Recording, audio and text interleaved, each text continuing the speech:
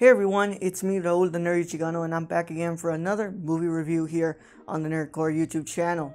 Today I'm going to be reviewing Portrait of a Lady on Fire. Portrait of a Lady on Fire is a French film written and directed by Celine Sciamma and it stars Noémie Merlant and Adèle Haenel. And the film stars, uh, the film is about a uh, forbidden love between an aristocrat, uh, forbidden love affair between an aristocrat and a painter who's commissioned to paint her portrait. The film is exquisitely shot. Every single shot is like you're looking at a painting with, excuse me, with so much gravitas and beauty. The colors pour out of the screen in an amazing fashion. The film is beautifully directed by Sciamma, and the film is also incredibly performed by by uh, by Haenel and and Merlant.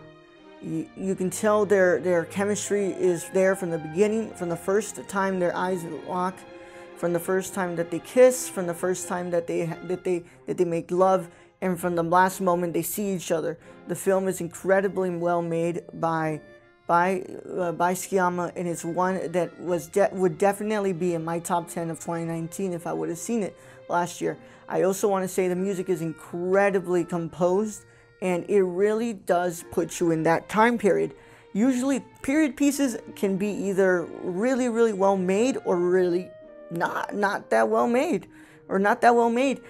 That, that's not the case for Portrait of a Lady on Fire. Portrait of a Lady on Fire is incredible. It never misses a beat. It is profoundly a masterpiece, if I can say that myself. Go and watch it. There is no excuse for you guys not to watch this film. This is an incredible film with, inc with an incredible message. So I'm a really, I'm a really big sucker for the forbidden love trope. And I have to say that this story was an amazing one. There's a lot of detailed shots in there that you can tell were handled with care, and the intimacy absolutely is done with respect and admiration for the craft of filmmaking. That's why I give a that's why I give Portrait of a Lady on Fire a resounding 5 out of 5. I love the film and I think that it's going to hold up when we discuss uh, films from France, but also just films in general that are incredible. Well, that is my review of Portrait of a Lady on Fire, and I hope you guys enjoy. As always, make sure you leave a like and subscribe to the YouTube channel, but turn on the, the notification bell so you guys can get notifications on when these reviews go up or other stuff that goes onto the feed.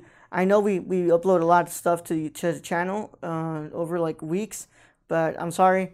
But that's the best way you're going to be able to get our, our notifications here. Also, make sure you check out Patreon, patreon.com slash nerdcorps. You guys help us fund these shows and help fund this channel, and it really is possible because of the Patreon. I hope that you guys are able to uh, help us out there, and if you can't, it's, it's fine but go and listen to the other stuff and on the podcast feed or just keep watching a bunch of videos on here. That's fine with me. So thank you guys for tuning in for this wonderful review and i will see you guys in the next one